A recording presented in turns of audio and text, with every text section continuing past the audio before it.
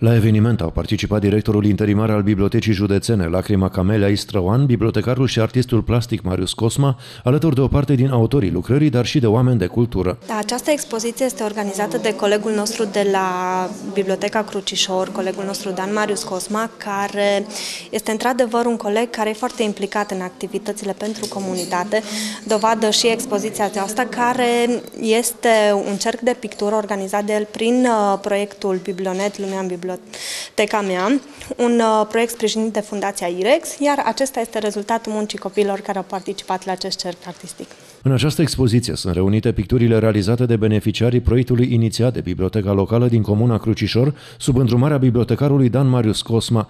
Proiectul intitulat sugestiv Prichindelul Artist, finanțat de Programul Național Biblionet Lumea în Biblioteca mea, cu sprijinul Fundației IREX, a dat naștere unui cerc de pictură în cadrul bibliotecii din Comuna Crucișor. După cum puteți observa, avem de-a face azi cu o expoziție de pictură. Este realizată în cadrul cercului de pictură din Comuna Crucișor, în Poiana Codului, funcționează la Biblioteca Comunală, se numește Prichindelul Artist. În expoziție există 22 de lucrări și în ultima clipă au venit și două icoane pe sticlă, Uh, picturile, așa cum observăm, uh, au ca temă peisajul, natura statică și compoziția figurativă. Sunt viu colorate și păstrează acea candoare specifică copilăriei, întrucât uh, majoritatea cursanților au vârsta de 12 ani.